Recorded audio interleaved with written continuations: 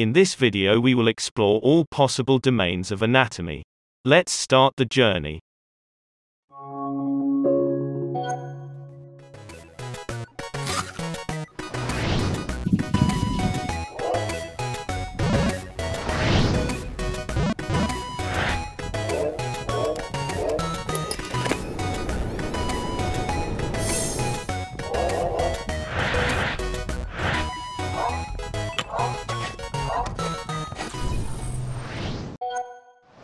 Gross or macroscopic anatomy is the study of large body structures visible to the naked eye, such as the heart, lungs or kidneys.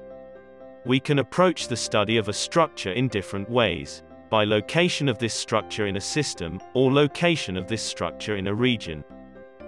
Regional anatomy reviews all the structures linked to a particular region of the body, such as the head, abdomen or pelvis.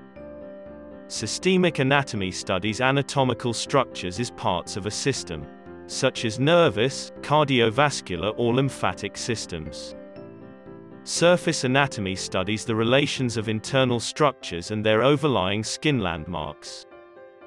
Microscopic anatomy deals with small structures invisible to the naked eye. It can also be divided into cytology, the science which studies cells, and histology, the science which studies tissues.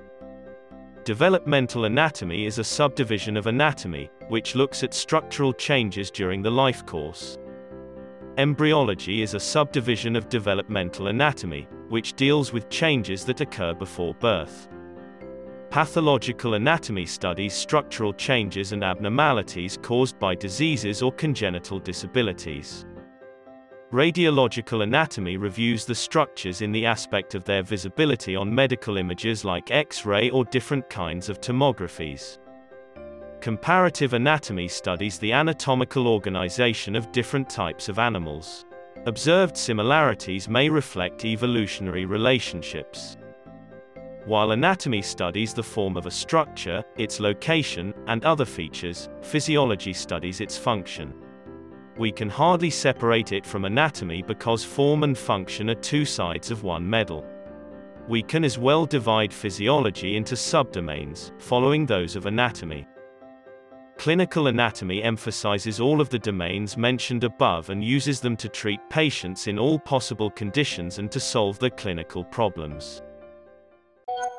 Subscribe to our channel to see more educational videos like this.